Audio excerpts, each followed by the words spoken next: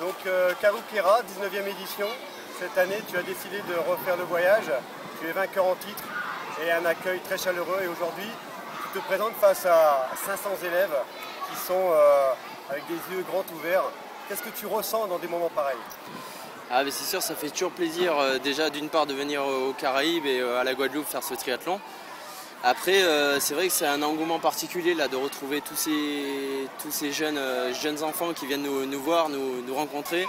Je pense que c'est aussi ça l'interactivité qu'il peut avoir entre les sportifs de haut niveau, les enfants, leur faire connaître notre sport et puis les faire un petit peu voyager quoi, par rapport à nos questions et nos réponses qu'on peut, leur, peut leur donner. Donc ça c'est tout à fait euh, vraiment super sympa.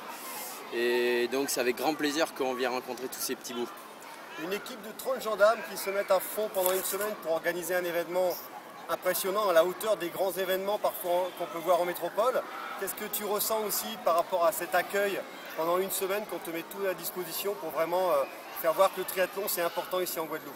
Ah, C'est sûr que bon, depuis que c'est la quatrième édition que je, auquel je participe, à chaque fois euh, le triathlon du Caroquera organisé par les gendarmes du Petit Pérou, euh, ben, c'est vrai que c'est toujours, euh, oui, c'est comme je le dis et comme je l'ai dit toujours, c'est la course ici aux Antilles de référence.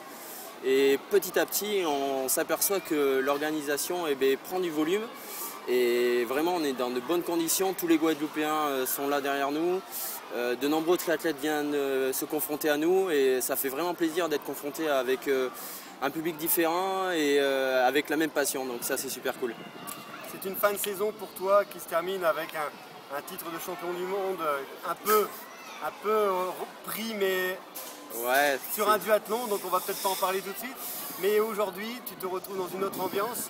Mais pour des jeunes avec cette petite fille qui est à côté de toi, qui, est à côté d'un grand champion du monde. Qu'est-ce que tu ressens, toi, donc, euh, d'être avec un champion du monde qui est Sylvain à côté de toi? Ben, je suis heureuse d'avoir un, champion. Je suis heureuse d'avoir les gens qui sont venus, des champions qui sont venus ici.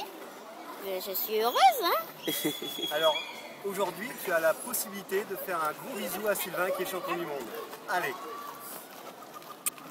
Merci Sylvain et puis merci euh, à vous. 2011. Ouais, merci.